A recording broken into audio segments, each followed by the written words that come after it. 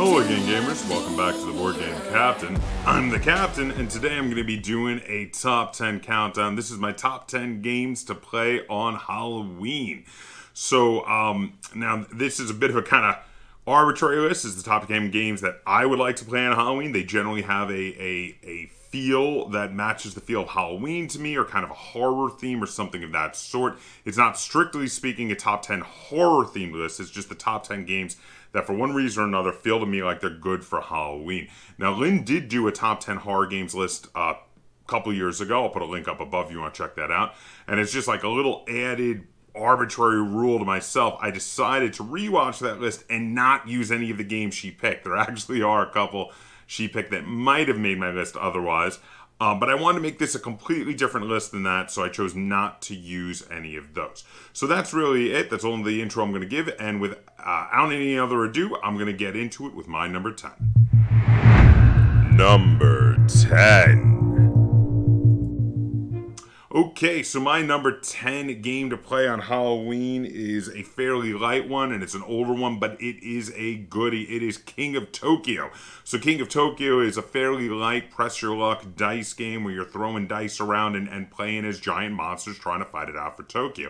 This is a great game to play while trick or treaters are coming to the door. It's got a light horror theme while still being campy and fun, so it feels like it really goes well with Halloween, and and then on top of that, you know, it, it's it's a game that you can just stop at any time. You can just be like, oh, hold on, uh, I'm, I haven't decided if I'm going to push my luck uh, on this dice roll again or not, but I got to give out some candy. And that makes it a really great game to play on, Hall- on Halloween. I still have the first edition. I know they came out with a second one, but I also had the the Halloween expansion pack for the first edition, which is really great and came with a giant monster with a jack o' lantern head, and I love that. Uh, but yeah, King of Tokyo is a really fr- fun press your luck dice game, and I think it holds up, and that's why it's my number 10 favorite game for Halloween. Number 9. My number 9 favorite game for Halloween is Carnival of Monsters. So, Carnival of Monsters is this fantastic game where you are uh, obtaining monsters from the wilds and putting them into a zoo type situation to make your carnival of monsters so people can come come and see them. And similarly to King of Tokyo, this again, it's got monsters, it's got uh, a fun light theme, it's got a lot of dice rolling. This is a really just great game to literally be playing at your dining room table uh, that you can easily get up from to give out candy to trick or treaters on Halloween. Uh, it is a, ga- a great beer and pretzels game. It's a lot of fun. I've never had a bad time playing Carnival of Monsters, and it's it's just yeah, it just the feel of it, the the lighthearted, fun feel, the the the the ton of monsters that you're collecting and putting out in front of you really just kind of feels Halloween to me. So I really get a kick out of that, and that is why Carnival of Monsters made it to my number nine on my top 10 favorite Halloween games. Number eight.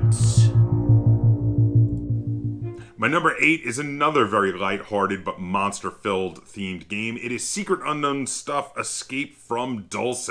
So this is an adventure game. It's kind of like a dungeon crawler uh, where it's cooperative. You and some other weird scientific experiments and, and creatures go fighting through aliens and mutants and monsters and picking up other weird um, experimental creatures like the Goat Boy or, or the Mothman or or Bigfoot to help you escape from this secret uh, government base called Dulce Base.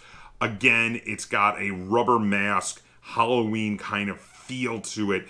Um, where where I just I love it. It's lighthearted. It's it feels like costumes and candy as a board game, and I love that. This one's a bit more advanced than the other two. There's a bit more going on. But if it's not your turn, again, very easy to get up and give out candy while someone else takes their turn at the table. This game has an awesome table presence. I love setting it up. Um, the giant three-dimensional tower. Uh, the main game is huge and will take you all night, but there are smaller, like self-contained missions that I prefer to play, and I that is what I, the way I would do it. I'd play one of the self-contained missions um, to play on Halloween, and there you have it. That is Secret Unknown Stuff: Escape from Dulce, which is my number eight favorite game to play on Halloween. Number seven. My number seven favorite game to play on Halloween is another kaiju game. This is a new one. Uh, Lynn and I picked this up fairly recently. I'm a big fan of all the old kaiju movies.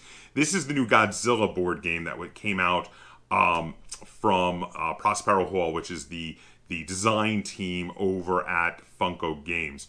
Uh, this is a really cool game. They they fit a ton of the old school uh, monsters and. They have four different monsters. Um, one weird choice in that they, they took Megalodon rather than um, one of the more common monsters from the old Godzilla movies. But you got some really good ones there in Mothra. You have Godzilla, and um, you have uh, King Ghidorah. Now, don't get me wrong, I do like Megalodon, but he only appeared in one movie, so he seems like a weird choice. That said, it's a really cool game, and it's one of my favorite kaiju games for just like running into the city and beating up other monsters.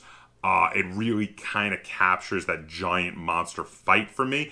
And the giant monster fights, because in all the old movies, they were done, you know, with, uh, I think they called it suitimation, basically where people were literally wearing giant rubber suits, giant costumes. It totally feels like Halloween to me because anything about those old Godzilla movies feels Halloweeny to me because they're guys in costumes having fun and, and playing the parts. So, yeah, so that is why number seven is the Godzilla board game uh, from Funko Games. Number six. My number six favorite game to play on Halloween is a game based on an anime and manga. It is Death Note Confrontation. So this is uh, obviously a a, a storyline that had a bit of a kind of horror sort of thriller theme to it. You have supernatural creatures, but they're not not totally the focal point of it. It's really about this battle of wits. It's kind of a deduction game that that very much captures the battle of wits from the anime and manga, but it also does have that creepy feeling, especially because uh, one of the characters is basically a serial killer. Um, Kira is killing all of the world's criminals while the the mastermind, the master detective L has to figure out who Kira is to put a stop to him not knowing how he's doing it because Kira is using supernatural means that he did gain from uh, a supernatural creature, Ryuk, who is a Shinigami, which is basically like an angel of death. Uh, this is a really cool game. I love this game a lot. Uh, and it is definitely a great game to play on Halloween. I've actually played this game on Halloween with Lynn and I sitting at the table while occasionally taking breaks to uh, give candy out to trick or treaters. So that is my number six favorite game for Halloween Death Note Confrontation. Number five. My number five game on my list is another one that has actually been played on Halloween by me. This one is Adventure Games Monochrome Inc. So the Adventure Games uh, are a series of games done by um, uh, Thames and Kosmos and it's kind of like a sequel series to their Exit the Game series. It's definitely in, uh, they're they're they're not quite escape room games. They're more like inspired by the old uh, adventure point and click video games, uh, and this one definitely has kind of a creepy sci-fi horror theme to it. It definitely feels very creepy, and I really dig it. It feels like you are ex- it, it, you are uh, working your way through kind of a horror movie. Um, and I dig that. Uh, yeah, Adventure Games Monochrome Inc. is my favorite of the adventure games I've played so far. I really like it, and that is why it made it down to my number five favorite Halloween game. Number four. My number four favorite Halloween game is a game called Multi Universum, which definitely feels like it got its theme from uh, certain sci fi and horror TV shows and movies, uh, including, for instance, Stranger Things, because you're trying to close these gateways that the scientists have accidentally opened to other worlds, which some of which are, are very dangerous and full of monsters and, and, and creepy things. So it feels like, you know, the hole to the upside down in Stranger Things. Uh, but it also feels like The Mist by Stephen King, which is also a fantastic movie to watch on Halloween. Um, really, really cool. Probably one of the best Stephen King adaptation horror movies ever is The Mist. Um, yeah, I love multi-universum. Multi-universum is really cool. It has that feel. It feels like that. It feels creepy. It feels cool. But it also is just a really, really great game. I mean, I'm not ordering these in my list by how much I like them. I'm ordering them by how much I feel they fit the the the feeling of the holiday of Halloween. But this also happens to be a game I like quite a bit. I like all the games on this list uh, I at least there are all at least seven out of ten for me in regard to how much I would rate them. But this is yeah, this is a really cool game. I like it a lot, and it really fits the the the feel of the holiday for me, and that is why Multi Universum made it all the way down to my number four favorite Halloween game.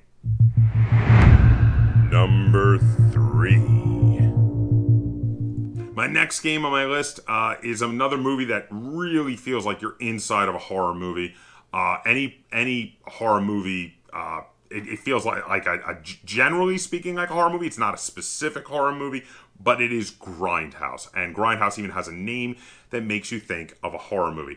Uh, there's a ton of horror movies that this definitely takes inspiration from for the various characters as well as the various things that happen. But it is a game where you draw cards and and you and the other players are trying to work your way through this this house of horrors and not get killed as you get injured. You have to injure parts of your body, and if you lose uh, your head or your torso, you're dead. But you can still play as a ghost to try to sabotage the other players and uh, find certain because uh, there'll be certain ways that as a ghost player you can still win.